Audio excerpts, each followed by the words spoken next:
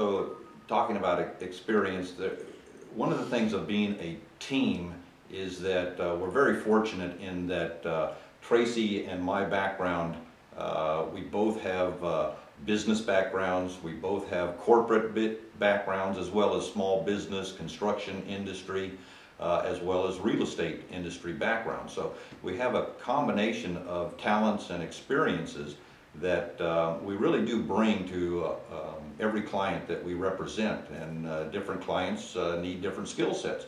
So we're very fortunate in that we can play off uh, each other's uh, skill sets. To give you a good example, uh, we recently had a relocation client that is moving here from Paris, France, and um, they were looking at homes, weren't sure whether they wanted to buy a um, resale home uh, or a new home. And so we took them around and showed them some of everything.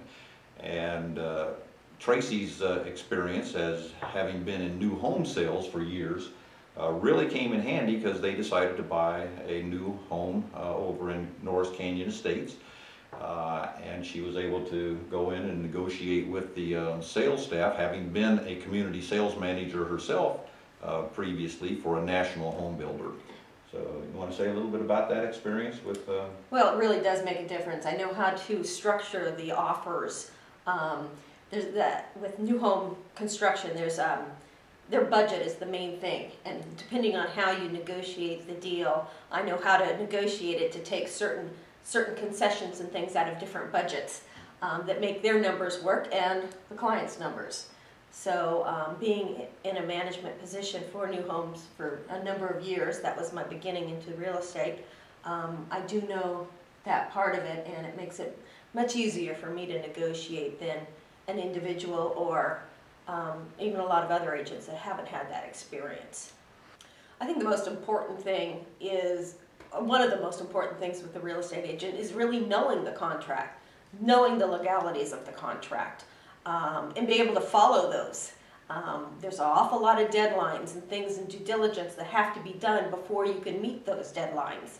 Um, it's very crucial not to let anything fall through the cracks. Um, there's lots of inspections. One inspection might lead to another, might lead to another, that might need, lead to an extension before we can relieve, release um, contingencies. Um, and making the clients both feel comfortable with the decisions that are made um, during that process.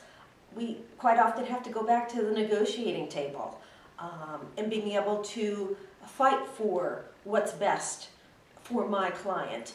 Um, it, it, it's just a, a, a, an ongoing from the from the get go, right from when we I meet a client all the way through until they're moving into their homes, and quite often even past that point after they've moved into their home, there they may uh, a problem might arise um, that then I'm still I'm still going to bat for them um, doing the whole process.